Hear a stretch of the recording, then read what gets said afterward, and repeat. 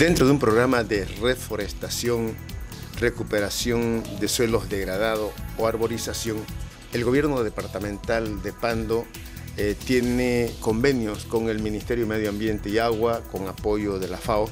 principalmente sobre la producción de plantines para la reforestación en el departamento Pando. Este sábado 17 se realiza un programa, conforme se lo ha venido realizando en varias comunidades, ahora en la comunidad trinchera, para la reforestación de 5 hectáreas con la presencia del gobernador de nuestro departamento, de la viceministra de Medio Ambiente y Agua, del director forestal del ministerio, la FAO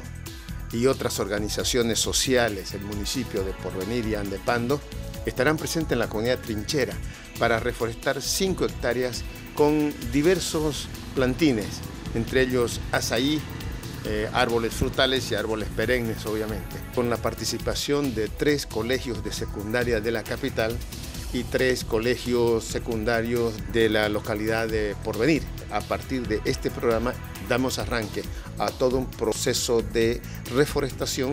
arborización, recuperación de suelos degradados, pero va acompañado con la producción de plantines. Tenemos estimado que produciremos este año alrededor de un millón de plantines.